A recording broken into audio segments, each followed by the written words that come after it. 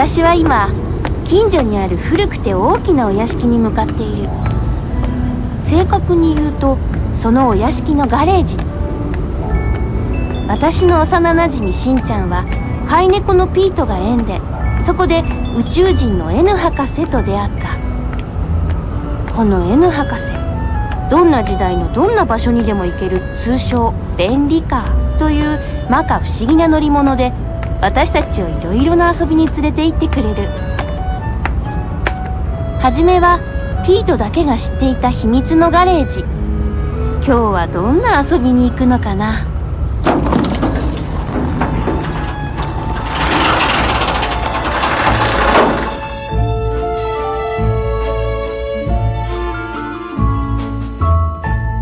三菱自動車ピートの不思議なガレージ。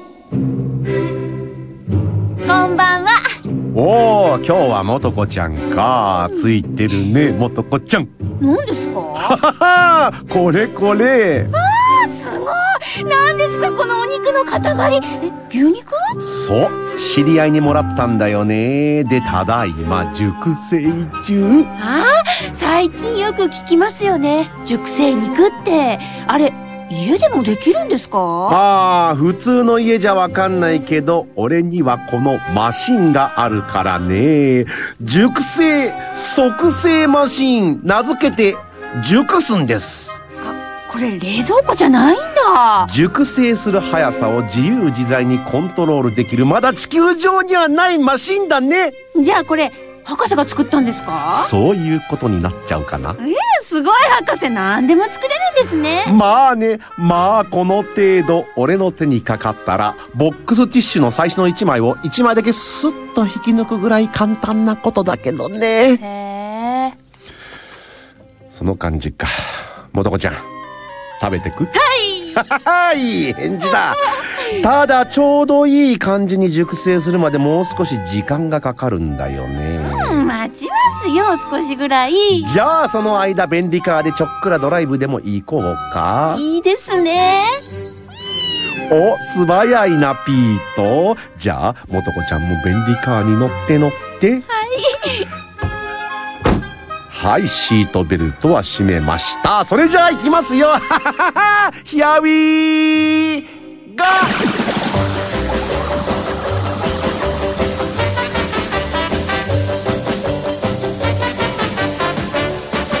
If you ever plan to motor west, travel my way, take the highway, that's the best. Get your kicks on Route 66.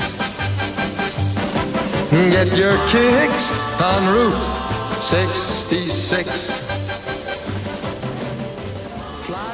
三菱自動車。ピートの不思議なガレージ。このお話はドライブアットアース。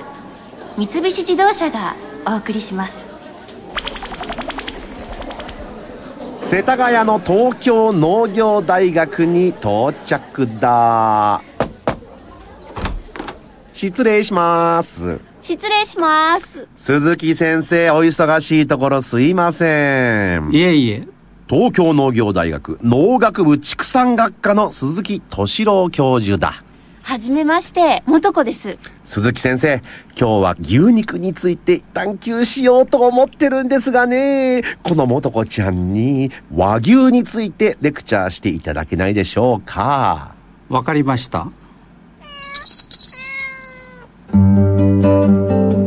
和牛ってよく聞きますけど、はいこれって日本の牛肉のことなんですか？そうですね。日本で独自に開発された牛の品種のことで、和牛っていうのはその中でも黒毛和種とか赤毛とか日本短角とか、まあ3種類から4種類ぐらい今現在日本では飼育されてますね。ああ短角牛とか黒毛和牛とか名前ははいよく聞きますけどそうですね。特に黒毛和種が一番多く飼われてますね。それってあれですか？松坂牛とか神戸牛とかっていうのが黒毛和牛そうですね。黒毛を大きくしてそこで例えば神戸で育っって土畜されて肉になったのを神戸牛とか松坂牛とかそういうふうに名前を付けて売られてくるわけなんですけど。あああの黒毛赤毛とか言いますけど、あれ単純に黒い毛をしてるとか？そうですね。黒毛は黒くて赤毛は赤じゃなくて茶色ですね。あーあ黒い牛と茶色い牛は赤毛っていうんですね。そうですね。はいはい。肉の特徴としては、えー赤毛の方があまり霜降りにならないということであ黒毛は霜降りって言いますかマーブリングって言うんですけどもそれが油が赤身の中によく刺していくって言うんですけども、はいはい。あの分散されるというそういう肉の特徴はあると思いますけど。ああそうなんですね、はい。あのよくランクってあるじゃないですか、あはい。でさっき言ってたようなその霜降り肉っていうとはい。なんか英語とかなんかよく数字がついてるイメージがあるんですけどそうですねはい。あれって何なんですかね？あの一番いいのが英語で一番悪いのは C1 なんですけども最初のアルファベットの ABC は肉の土畜された時の固まってぶらよくぶら下がってると思うんですけども、はい。その大きさとか重さとかあるいはそのロースの芯の太さとかそういうことをいいものは ABC 計算式が本来あるんですけどもその計算式に合わせて何点以上は A 何点以下は C とかそういうふうにまず決めてしまうんです。はいはい今度は実際に肉を検査員が見て霜降りの度合いとか肉の色とかその肉のキメとかそういうのを一番いいのが5一番悪いのが1でそれで決めるわけですね。ああ霜降り度合い度合いであの1から10まで多分あると思うんですけども、まあ、だからちょっと私度忘れしちゃいましたけども7から例えば10までは5とかそういう分類をしちゃうわけですね。でそれだけでは決まらない。でそれでプラスあ肉の色とか肉のキメって言いますか柔らかさとうん。かそういうのを全て判断して、えー決めます。ですから例えば、えー、555っていうふうについても何か3というのが評価されたら、はい。A3 になってしまうんですね。ああそうあ一つでもその一番低い低いのに合わせるっていう決め方をしてます。うわ厳しいですね。だからぜオール語じゃないと英語はつかないってことです。オール語かそっかそのキメとかはい色とか、はい。プラス霜降り具合爪とかそうそういうのがあの確か5つぐらい評価があったと思うんですけども、うんそれがオール語の肉が一番そのいい点数がついたのが英語ということになります。あじゃあ英語ってもうスーパー優等生なんまあですね、かなり本当にスーパー優等生だと思います。でもやっぱり英語級っていうお肉ははい。食べてものすごく美味しいものなんですそうね。ですね。あの私なんかにははちょっと脂っこいかなということもあるんですけども、うん。少量食べる時は非常に美味しいと思います。ただそれを大量に例えば 300g 英語を食べるなんてそういうことはちょっとあの無理かなと思いますし、うん。ですからえーっと和牛は日本でどんどん改良されていったんで日本の例えばえすき焼きとか、はい。しゃぶしゃぶには非常にいい肉ですね。えーああれを例えばオーストラリアのオジービーフとかアメリカの US ビーフで食べてもあの美味しいすき焼きとしゃぶしゃぶは食べられないんですね。霜降りってもう完全油分ですもんね。もうそうですね大体英語ですと60%ぐらいは油だと思うそうですよね。はい。でも和牛といえば霜降りっていうイメージがあるんです。そうですね。だから日本人の方はもう霜降り文化でその霜降り肉が大好きですね。うん。で欧米の方はもう赤肉の方を好む。とまあ文化が違うから私たちが求める牛も違うんだ。そうですね。っていうことはい。ですから、ね。欧米はもう完全な赤肉の牛を作るわけですうね、ん、あそっか。じゃあもう本当に霜降りのお肉って和牛ならではなんですね。そうですね。だから最近あのアメリカとかオーストラリアで和牛っていう名前は使って、まあ、少し霜降りの入った肉も、まあ、高級肉として出てきてるんですけども。あそうなんですか、ええ。和牛っていう名前で。そのうちあの和牛っていうのは世界の寿司と天ぷらと同じように、はい。あの使われてくるとは思うんですね。へえええ。アメリカはアメリカン和牛っていう。感じ。うん、そうだ。オーストラリアン和牛とかね。本当にそういう感じで出てきていますね。オーストラリアなんか今一生懸命その和牛っていうので輸出してますので。あそうなんですね、はい、それに対抗して本物の和牛はこっちだって日本も一生懸命外に出すようには政策としてややってますけども。はい、えってことはその和牛っていうのは日本で育つから和牛っていう種類なんじゃなくて。まあ、そういう品種を使ってフィードロットっていうんですけどもその栄養価の高い餌を与えて、うん、その昔はあのオーストラリアなんかは草だけでグラスビーフっていうんですけども草だけで育ったんですけどもそれじゃなくてちゃんと餌を和牛用の餌を与えてあの霜を降らせていくっていうこと。でもあの日本のように綺麗にはあの入ってませんけれども。そうなんですね、ででもあの普通のその一般の赤肉に比べれば非常にワンランクかツーランク上の値段でアメリカとかオーストラリアでは売られてますので。ああそっか。そうすると日本のその和牛っていうこう品種を輸入して、はい、自分の国で育てて、ね、少し高い肉を作ろうみたいな。そうですね。はい。あそういうことなんだ。あの霜の入り方って不思議ですよね。そうですね品種によって例えばアバーデンアンガスっていうその今アメリカなんかで一番いい肉牛と言われてるのがあるんですけども。アンガス牛。そうそうです。アンガス牛ですね、はい、あれも本当に私美味しいと思うんですけどもあれは和牛と同じような飼い方をしてもああいうふうに牛も入らない。そうなんですか、はい。えー、なんで和牛が入っちゃうんですか、ね、それまあ遺伝子なんだと思うんですけどもそれはあのだから黒毛和種というその種類は霜が入る。んです。ねだから同じ飼い方でハンガスに飼っても入らないです。そうなの和牛って言われる今も世界にもいるその品種っていうのだけが、なぜかその脂肪がお肉の中に入り込んでいくっていう、霜降りになるのはもう和牛だけなん。です。不思議ですね。そうそうですね。だからそれは日本の文化ですよね。日本人が育てて霜を降るような飼い方を開発したっていうことそうなんですね。なるほど。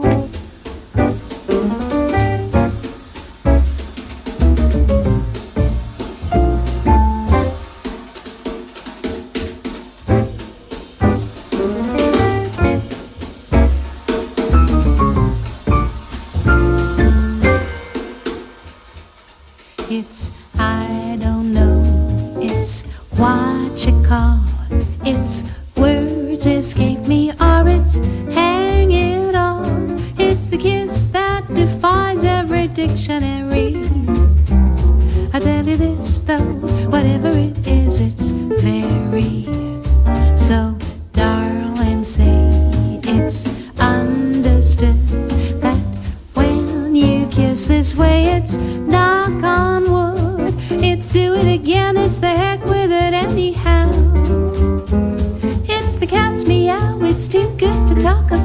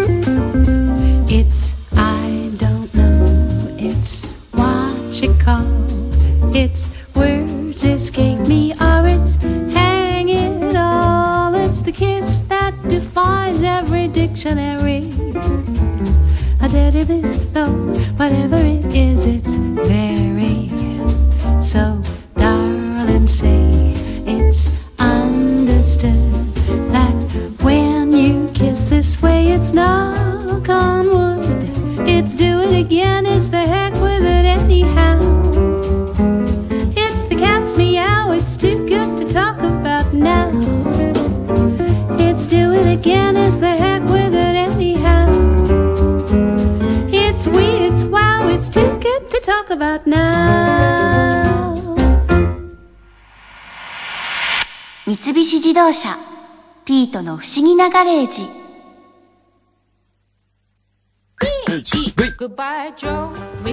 原沢俊明です。私がアウトランダー PHEV を選んだ理由をお話しします。経済性重視のハイブリッドではつまらない。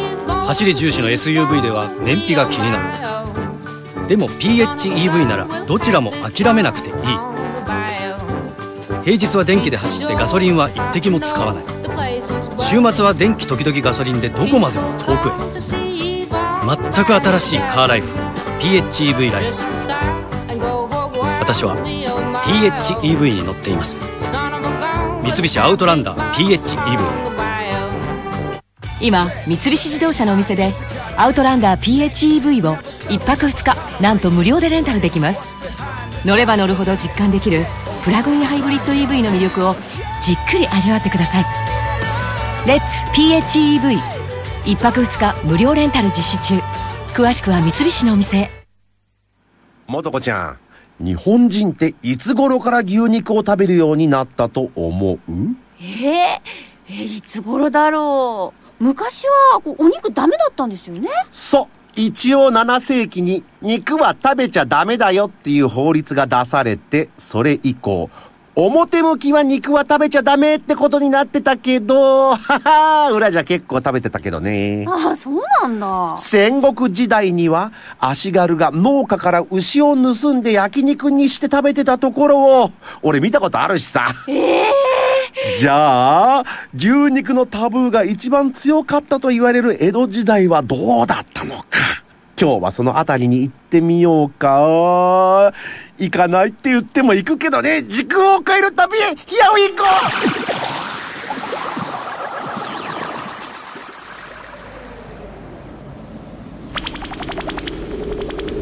さあ18世紀後半の彦根に到着だ。18世紀後半の彦根。ああまあ1月の終わりの寒の時期1年で一番寒い時期だからね。博士もう私寒いの苦手なんですけど。ああそうなの？ただねこの時期じゃないとダメなんだよな。ほらあれ見てみんな。えー、ああそこに干してるのはえ？お肉？え牛肉ですかこれ。そう近江牛だ。あ聞いたことあるそれ。この寒の時期の冷たくて乾いた空気が肉を干すのに一番なんだ。へえビーフジャーキーみたい。そこの者何をしておる？はい。将軍家へ献上する養生薬であるぞ。触るでない。養生薬？うん。養うに生きると書いての養生に薬で養生薬この牛肉将軍が食べるんだ。牛肉ではなく養生薬だ。我が彦根藩では昔から干したもの味噌漬けにしたものを将軍家に献上し大層喜ばれておる。ってことはかなり美味しいんだこれ。ちょっと味見させてもらっちゃう。なんだと？ああちょちょちょっとちょっとちょっとちょっとあのねほらちょっと手出してこれあげるから一切れだけね。一切れだけ。早く立ち去るのだぞ。お許しが出ちゃった。じゃあ一口もらっちゃおう。はいもとこちゃんも。うん。うん。うん。塩味なんですね。うん。この時代胡椒なんてないからね。なんでここは牛肉 OK なんですか？もともと彦根は牛側の産地だったんだで残った肉を捨てるのはもったいないっていうことでここだけ牛肉 OK になったらしいよ。ただ堂々と牛肉を食べるとは言いにくいんで需要をつけるための薬養生薬といって将軍家には献上していたわけだけどね。美味しい薬ですね。じゃあそんな頃世間ではどうだったのか次行ってみよう Here we go!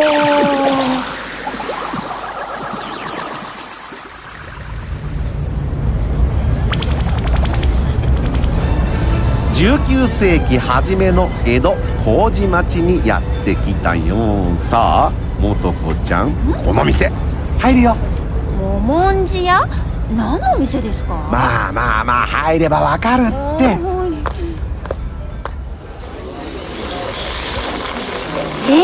焼肉？すき焼き？みんなお肉食べてる。うん。大半はモミジやヤマクジラ。つまり鹿やイノシシだけどね。ほらあそこで食べているのはまさしく牛肉だ。へえ普通の人も牛肉食べてるんですね。いやいや仕方なく食ってんだよ。最近体の調子が悪くてよ、えー俺もどうも調子が悪くてさ。おほ薬食い薬食いっと。早く元気になるては本当こんなもん食わずに済ませたいぜ。また薬とか言ってますけど。一応まだ肉を食べるのはタブーだったからね。あくまでも需要をつけるための薬という名目で食べてたんだよこの頃は。めったな本当はこんなもん全然食べたくねえのにな 薬じゃ仕方ねえよなって言いながら喜んで食べてたんですね。本音と建前は日本人の得意とするところだろう。さてともう少し現代に近づいてみよう。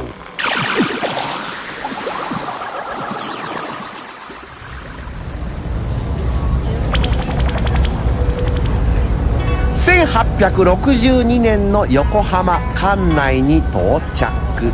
もうすぐ江戸時代も終わり。またお店ですか？伊勢熊？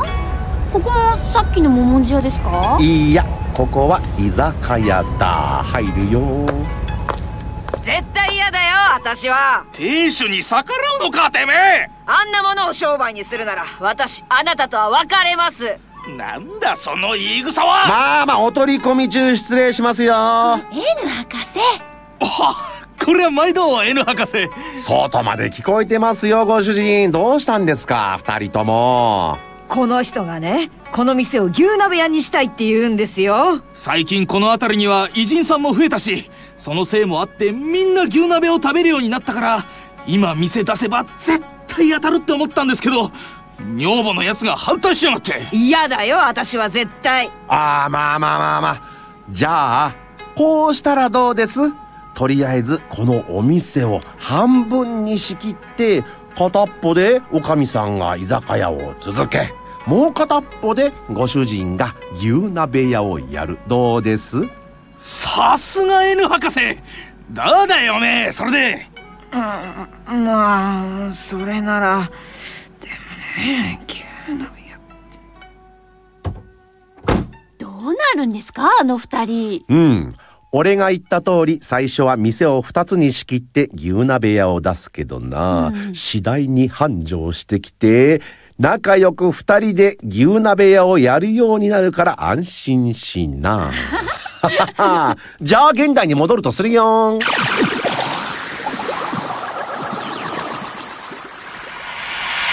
三菱自動車ピートの不思議なガレージ鏡よ鏡？この世で一番美しい女性は誰じゃ？それは白雪姫にございます。あの雪のような白い肌には女王様でも叶いませぬ。その女はなぜにそんなに白い肌でいられるのじゃ？もともと美しい白い肌なのですが、特に出かける時には三菱 EK ワゴンという車を愛用しており、その 99%UV カットガラスでしっかり肌を守っているそうです。車のおかげかそれは紫外線からお肌を守る 99%UV カットガラス採用の軽自動車。美しい EK 三菱 EK ワゴン。EK カスタム。スマートに車庫入れできる。リアビューモニター付きルームミラーやシートの高さを調整できる。運転席ハイトアジャスターなど。女性を美しくする機能が満載の車です。あなたの美しい物語はこの車から始まります。詳しくはスマートフォンから「美しい EK」でご検索ください。待っておれよ白雪姫。うちの軽自動車、運転席から後ろの席の子供に手が届かないのよ。EK スペースなら後部座席が近づく。軽自動車最長 260mm の後席ロングスライド。33の思いやり機能の一つです。大きな K を思いやりの K に。三菱 EK スペース。詳しくは三菱のお店でさあ現代の虎ノ門ヒルズ森タワーに到着。さあ行くよ。田島屋？熟成肉の専門店だ。本橋さん。あ N 博士田島屋の本橋勲さんだ。本橋さん彼女元子って言うんですけど牛肉の熟成に興味があるらしくてね。本橋さんから肉の熟成の基本的なところを教えてやってもらえませんか？えいいですよ。ではあちらでお話ししましょう。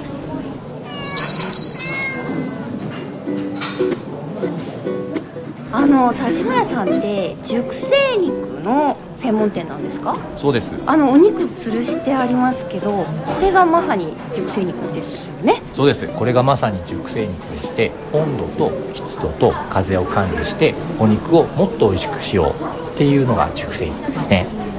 田島屋さんで作っている熟成肉はどういう風に熟成させてるんですか？温度と湿度と風を一定にします。温度がだいたい0度から3度ぐらいで凍らない程度の温度です湿度はでもしっかり80%から90%ぐらいですね。ドライなのになぜかとは思われると思うんですけどでもお肉自体を乾燥させるだけじゃなくてお肉を美味しくさせる発酵させる酵母や菌を元気にさせたいのでそのための湿度であったり温度であったりするわけですねそっか。乾かすわけじゃないんですね。菌はちゃんと生かしておかなきゃいけないから湿度が必要なんだ。そうですね。単純に乾かしてしまうとビーフジャーキーのようにあの干物のようになってしまうだけなのでうまみは凝縮するんですけどそれはきっともうステーキとしては食べられないぐらい乾いたお肉になってしまうので。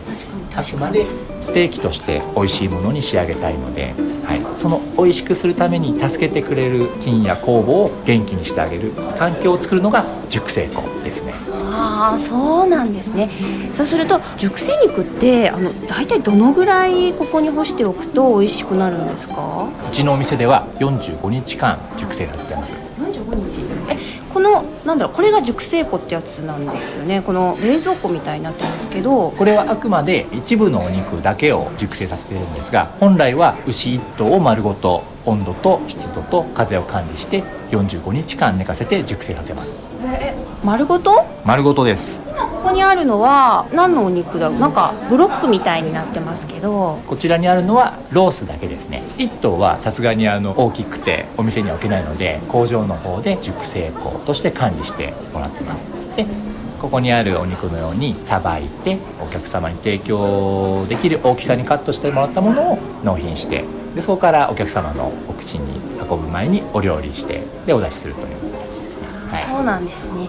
じゃあここにあるのはちょっとこうかっこいいお肉ってことなんだ。そうなんです。お客様に見てもらってあお肉だなっていうのを分かってもらいたいのとあとは熟成してるっていうのを分かっていただきたいのととはそうですね。本来は白カビが生えて見るに耐えないビジュアルなんですがこれはあの綺麗にトリミングして飾ってあるんで半分ショーケース半分熟成庫的な感じではい。あ白カビ生えちゃうんですね。そうなんです。白カビが一面に生えてちょっとお客様の目には見せたくないビジュアルでしてはい あれでも熟成肉って私ね実は食べたことないんですけどあの柔らかいお肉になるってことなんですか？そうですね。柔らかさもそうですしうまみも甘みもあとはやっぱり香りが香り。はいしっかりつくのでこの香りがやっぱり熟成肉らしさと言いますかはい。えー、香りお肉の香り？なんか普通の焼肉とかステーキと比べるとお肉のうまみギュッとこう詰まったような感じになるんですかね。そうですね。干物と同じくうまみ成分が凝縮されるのでやっぱり舌で味わう際のうまみっていうのはすごく感じられるしあとはやっぱりチーズとかワインとかでもすごく香りがいいですよね。あれと同じく熟成肉特有の香りっていうのがあるのでこれも一緒に楽しめるっていうのは熟成肉の楽しみの一つでありますね。えー、あのお店では熟成肉どういう形で出してるんですか？ステーキとして提供してるんですけどもステーキのですね焼き方にもこだわってまして、はい、ブラックブルーっといってですねはい。ブラックブルというのはステーキの調理法の一つでブラック外はウェルダンで仕上げることです。ブルーっていうのは中をレアで熱い状態で仕上げるんですね。うまみを逃がさずに凝縮した一番熟成肉にぴったり合った調理法だと思いますブラックレッドかと思いきやブルーなんですね。そうですね。ブルーはあのフランス語でレアのことなのでそこだけなぜかレッドではなくブルーと言われますね。はい。そうなんだ。心の問題ですかね。そうすると普通のステーキよりも柔らかいんですかね。そうですね。柔らかいですしうまみを逃さない調理方法なのでもう噛んだ瞬間にうまみがじゅわっと口にいっぱい広がるお肉になってます。美味しそうあの熟成肉も割とレアな状態で食べることはできるんですね。そうですね。あのステーキ以外にもカルパッチョタルタール炙り寿司なども出してるんですけどこれは生肉なんですね。はい。実は生でも召し上がれる商品も。はい。でもやっぱり一番熟成肉を食べる中でおすすめの食べ方っていうのはステーキなんですか？そうですね骨付きで肉厚で大きなお肉をブラックブルーに仕上げるので大切な方と一緒にシェアしていただいて召し上がっていただくのが一番楽しいかなと。骨付きのお肉ってなんかすごい大きいイメージがあるんですけどどういう形で出してくれるんですか？T ボーンステーキというのが売りなんですけどもその名の通り T 型の形をした骨なんですね、はい、で左右にお肉が分かれてまして1頭の中で一番柔らかいフィレ肉とステーキの王道のサーロインが両方一緒についてて一緒に食べられるで一番贅沢なお肉なんですね。かもうなんか一つで2度も3度も美味しいようなそういう食べ方をするのがやっぱり熟成肉も美味しいんですかね。そうですね。はい。あーそっか。それをあの味付けってどういうのが一番おすすめですか？熟成肉は香りがあるのでこれを楽しんでいただきたいのでお塩だけを振ってステーキに仕上げてます。で最初の一口は何にもつけずに食べてもらう。二口目以降は泡醤油っていううちのお店のオリジナルのソースなんですけどお醤油とお出汁をメレンゲに合わせてゼラチンで固めた泡状の固形のソースなんですね。これを少しお肉にのせて溶けさせて召し上がっていただくとまた熟成肉の味が引き立つ。もっと食べたくなるようなソースに仕上がってます。そっかやっぱり味が濃いからシンプルに食べるのが一番美味しいんですね。そうですね。香りをやっぱり殺したくないので胡椒すら使ってないです。はい。お塩だけで、オンリー塩で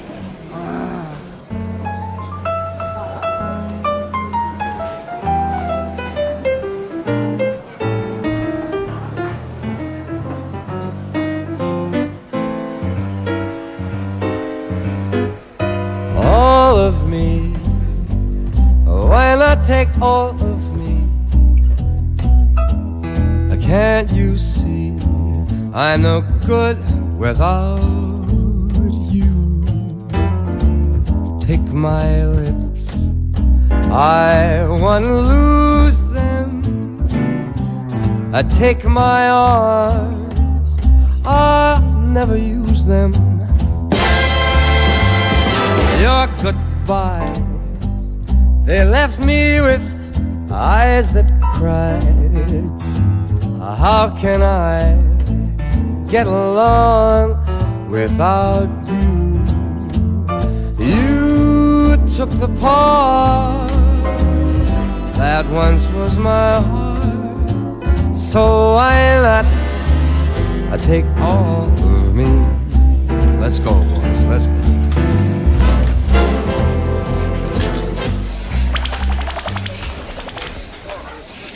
さて、都内のカフェに到着したよと、えー、っと、ここで待ち合わせをした、犬飼さん。どうも、犬博士。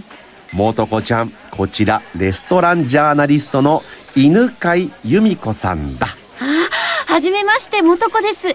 雑誌でお名前よく拝見してます。ありがとうございます。犬飼さん今日は彼女に牛肉についていろいろ教えてやってましてね。おすすめのお店を教えてやってもらえませんか？はいわかりました井さんあの最近？なんかお肉やっぱり流行ってるんですかね？まあ特に和牛でしょうね、牛肉。みんな好きですよね。好きです。おすすめのお店？教えてもらってもいいですか、もうねこれは肉好きの人だったら間違いなく満足するお店っていうのが、はい。銀座のマルディグラさんですね。銀座マルディグラさん、はい和知さんっていうシェフがいるんですけど和知さんはもうね17年前からずっと短角牛赤身の短角牛をスタートさせたやっぱり一番肉の伝道師としてふさわしい方です。で世界中回って美味しいステーキそれから赤身の肉のとかとにかく肉のことだったらこの方が一番詳しいです。へえあステーキ屋さんなんですか？マルディグラさんあのねもともとはフランス料理のシェフなんですよ。あそうなんですね。あのもちろんお料理とそれからワインを出してらっしゃるし傾向としては当然フランス料理をベースにしてるんですけどこと肉にかけて言えば、もうがっつりと肉を焼くノンジャンルの美味しさですね。へえそうなんだ。あの短角牛ってよく名前は聞くんですけど、ええ。実際それってどういうお肉のことなんですか？あ黒毛和牛とは違って、はい。短角牛はその赤身っていうのが特徴なんですねで非常にまだ少ないんですよ。日本で育てられてるところが。あそうなんですね。青森と岩手今は熊本の方にもあと高知の方にも増えてきてるんですけど、はい。なかなかまだ広まらないんですけども今肉好きの人が一番美味しいと思っているのはやっぱり赤身の肉の方ですね。へえそうなんですね。その赤身のお肉を美味しく焼いて提供されるお店、そうですね。これここはねやっぱりね1キロぐらいの塊で焼くっていうのがなんといっても一番名物というか。え？1キロ？はい。え？切らずに1キロのお肉をドンって焼いちゃうんですか？まずは全部焼きます。リブロース。え1キロってすごい大きいですよね。だからやっぱり骨付きなので、うんうんうん。骨もちゃんと入ってるところを取って、はい。そのまま使えれるところですけれどももちろん他にはステーキとかしゃぶしゃぶとかにも使えれる部位なんですけれども、この塊になった肉をきっちりと周りを焦がして焼いて中はちゃんとまだ赤身きっちり残ってます。で肉の柔らかさもちゃんとやあるし、はい。リブロースなんで脂身は脂身であるんです。でやっぱり肉も美味しいけれども油は油で焦げてれば美味しいんですよね。ね。だからそれを交互に食べていくっていうのが肉好きにとってはたまらない味なんですよ。あーそっか。でこれが1キロありますので、まあ、4人で食べても1人 250g は食べられると。あー250結構なボリュームですよね。ボリュームありますよね。だからこれはあの美味しい肉をとにかく豪快に食べなきゃダメいい肉は豪快に食べるからこそ美味しいっていうそういうやっぱりポリシーみたいなものが感じられるそういう一皿です。まあ、1キロのお肉を焼いて、それを後で切って。そうですね。食べる前にちゃんとカットしてはい。出してくれて、タタタタッと塩コショウも最後にしたり。あーそうもちろん一番最初にも肉にはしておきますけれども、はい。もうこれはこう切って食べてる時に足りない味があれば自分で足していくっていう味ですね。うん。そこはお好みでっていそう感じなんですね。はい、またいろいろな他のねあのももの部分とか肩の部分とかそういうものは他にはただ焼くだけじゃなくて煮込みもあればひき肉にしてハンバーグステーキっぽくしてあるものもありますので、あーそれも美味しそうですね、まあ、肉の伝道師ですから。肉の伝道師。はい。すごい称号ですね他にもおすすめのお店ってありますか？さっき言っていた美味しいお肉っていうことで言えば赤身の肉ですけども、はい。もうちょっとこうリーズナブルに食べたいところで言うと、うん。新橋にあるカルビアーノさん。カルビアーノ、ん。カルビアーノさん。これはカルビだから焼肉屋さんですか？焼肉なんですけども非常に洗練されたって実はこれカウンター焼肉なんですよ。カウンター焼肉、はい。焼いてくれるってことですか？いやあのね自分あ間違ったやり方をしてるとささっと来て間違ってますっていう感じで 静かにきちんとひっくり返してくれたらもう食べ頃ですっていうそういうこう全然気取ったお店ではないんですけれども、はい。ベストタイミングで大丈夫ですかっていうこう目を配ってくれてるんですお店の方が。そのためにカウンターになってるんです。ああそれはちょっと緊張感も味わえます。でもここに来ると一人でも召し上がれるしもちろん二人でも召し上がれるのでどうしてものお肉が食べたくなってしまった時一人で飛び込むっていうことができます。ああそそうか。なんかそういう一人で焼肉とか一人で美味しいお肉食べるのもすごい味わえそうな気がします。多分こう入り込みますよねその世界にね。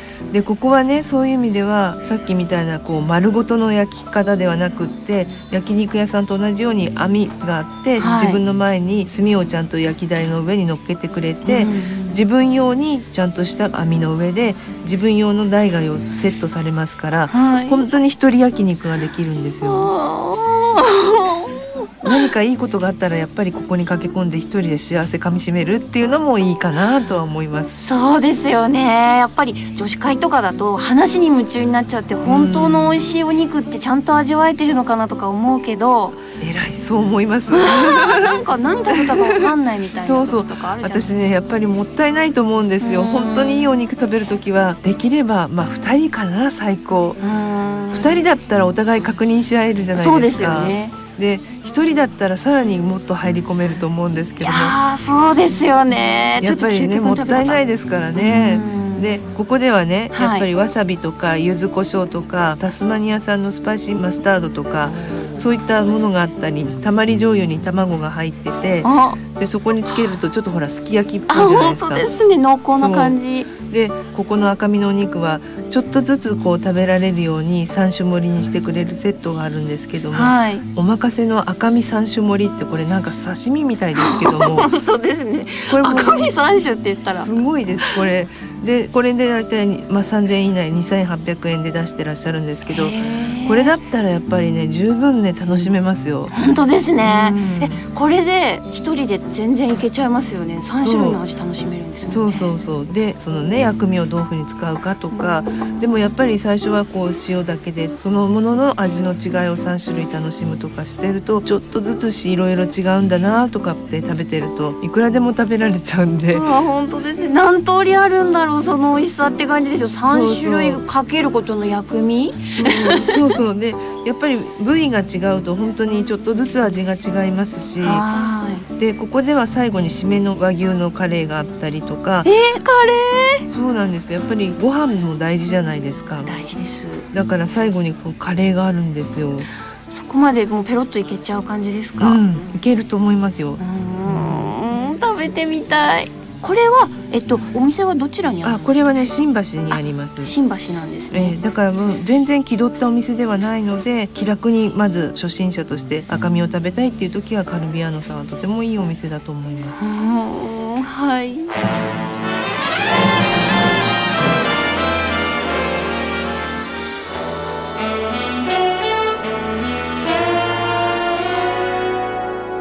I've got the world on a string, sitting on a rainbow. Got the string around my finger.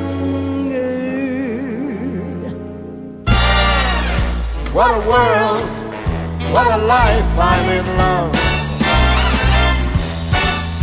I got a song that I sing. I can make the rain go anytime I move my finger. Lucky me, can't you see I'm in love? Life's a wonderful thing.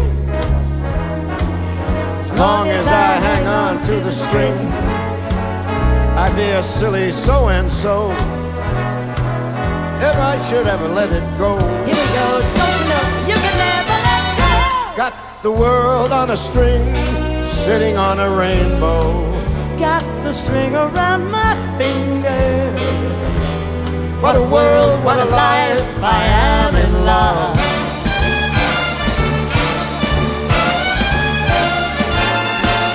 Life's a wonderful thing. Life is a wonderful thing. Long as I hang on to the string, be a silly so and so. Be a silly so and so. If I should ever let it go, got the world on a string. And I'm sitting on a rainbow. Got that string around my finger. What a world. There ain't no other way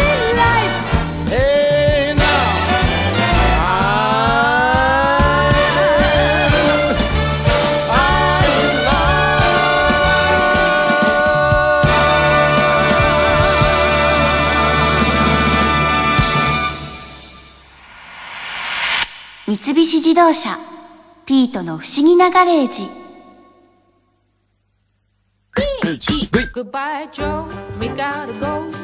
原沢俊明です。日本のドライバーの1日平均走行距離は95%の人が60キロ以下。だから60キロを電気だけで走れる PHEV は平日ガソリン代0円。新車購入検討者の75%が電気自動車はロングドライブに向かないと思って。いるでも PHEV なら電気時々ガソリンでどこまでも遠くへ走れる。経済性と走る喜びの両立を諦めない。それが PHEV ライフ。三菱アウトランダー PHEV 今、三菱自動車のお店で、アウトランダー PHEV を1泊2日、なんと無料でレンタルできます。アウトランダー PHEV の魅力は、ツインモーターによるパワフルな加速と、EV ならではの静かでスムーズな走り。自分で発電するから、バッテリー切れの心配がなく、ロングドライブが可能。1500ワットのコンセントを使用すれば、電化製品を使った新しいアウトドアライフを楽しめます。乗れば乗るほど実感できるプラグインハイブリッド EV の魅力をじっくり味わってくださいレッツ PHEV 一泊二日無料レンタル実施中詳しくは三菱の店へ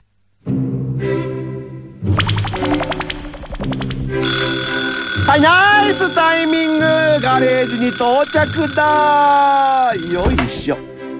ほら、いい感じに熟成完了。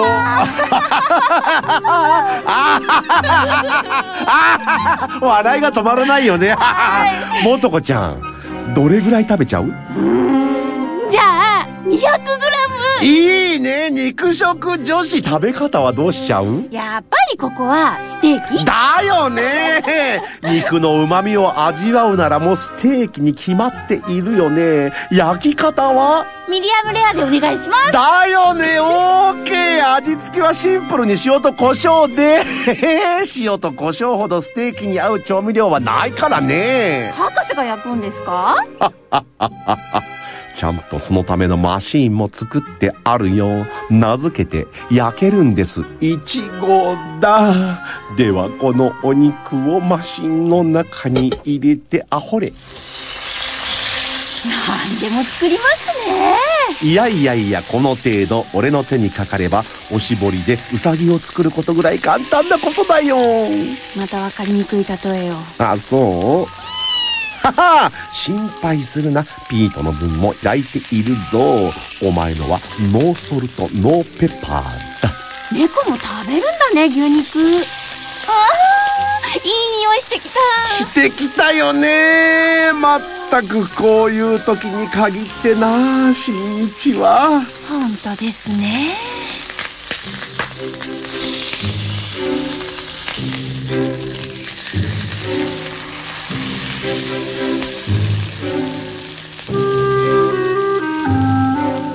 三菱自動車ヒートの不思議なガレージ。このお話はドライブアットアース三菱自動車がお送りしました。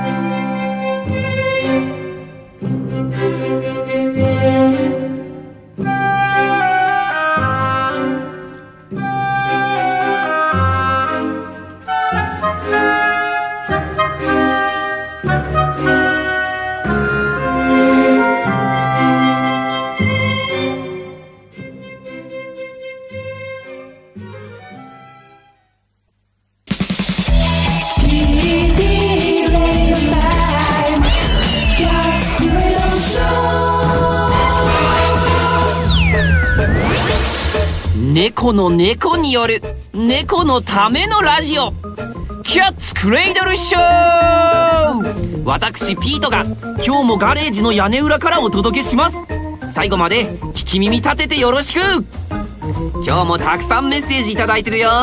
早速紹介していきましょう。これはキャットネームにゃっちむさん。ピートさんこんばんは。こんばんは。人間の話を聞いているといつも不思議に思うことがあるんですよ。どうして人間ってすぐ僕たち猫と犬を比べるんでしょうね。比べるだけならまだいいですけどそれが大抵間違ってる。この前も猫より犬の方が耳がいいなんて言い出して違うよって言ってやったけど人間のやつ分かってないんだろうな。あー確かに。人間はすぐ猫と犬を比べたがるよね。そして必ず犬はこう猫はこうと決めたがる。ほんと人間っていうのは思い込みの動物だと思うよ僕も。猫と犬どっちが耳がいいかっていうのはまあ簡単には言えないんだけど高い音の場合は犬はこれぐらいまで聞こえる。でも猫の場合はギリギリここまで聞こえる。聞こえたよねニャッチムさんも。